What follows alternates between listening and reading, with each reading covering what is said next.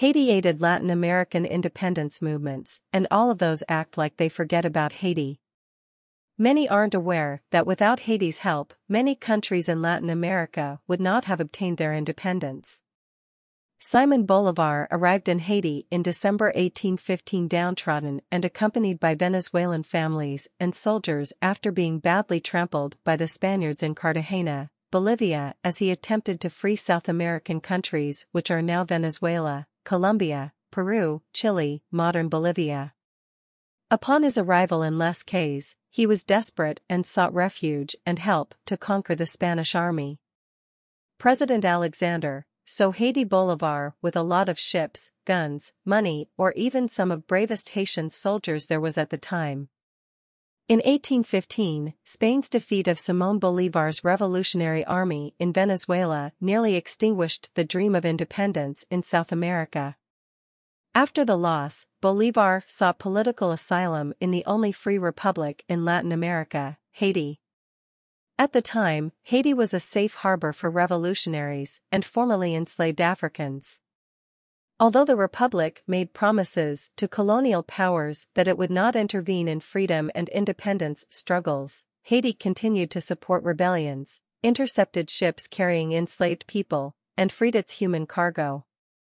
For Haiti, colonialism and slavery anywhere posed a threat to the Republic's own independence and humanity. Thus, when a defeated Bolivar landed in Port-au-Prince, President Alexander understood the significance of the man who led the liberation movement. Pétion offered Bolivar 1,000 rifles, ammunition, and other supplies. He also provided hundreds of Haitian sailors and soldiers who had fought in the Haitian Revolutionary War. The offering came with one condition, Bolivar had to abolish slavery in South America when he founded a new republic, Bolivar agreed. He and his army once again took on Spain, returning to Haiti a second time for assistance, and triumphantly declared Venezuela an independent country in 1821. After later defeating Spain across South America, Bolivar declared himself president of Gran Colombia, present-day Venezuela, Colombia, Panama, and Ecuador, Peru, and Bolivia. Foreshadowing Latin America's present relationship to Haiti, Bolivar broke his promise to Pétion. Rather than wholly abolishing slavery, Bolivar sought to maintain Latin America's racial and class hierarchy so that white elites like himself would not fall to a pardocracia, a so-called mulatto takeover.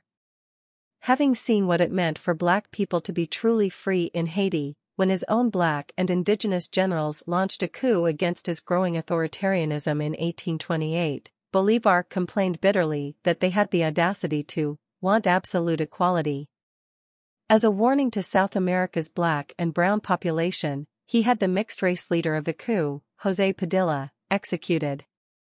Nearly two centuries later, many of these nations have been as openly hostile to Haitian immigrants as they are to their own black Latinx populations.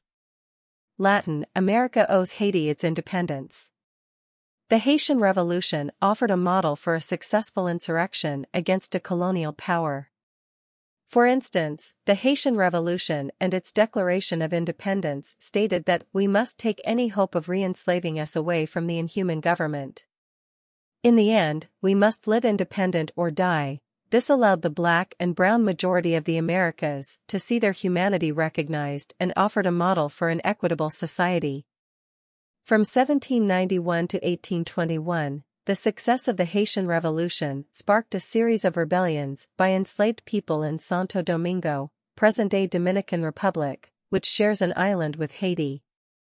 According to Dominican historian Quisqueya Lora Hugi, these movements had bigger objectives, such as the overthrow of colonial rule, the implantation of racial equality, or the union with Haiti.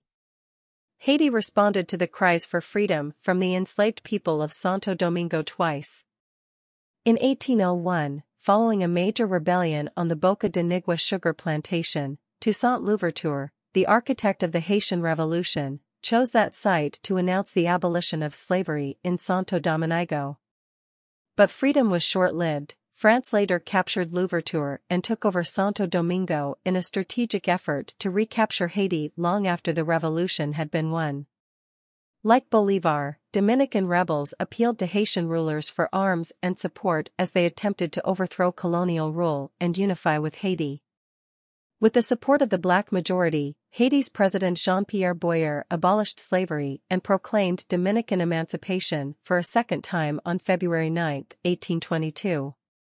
Hispaniola became the only independent nation in the Caribbean and the only region in the Americas where slavery was abolished. But 22 years later, after the unification period with Haiti ended, the white elite reannexed Santo Domingo to Spain.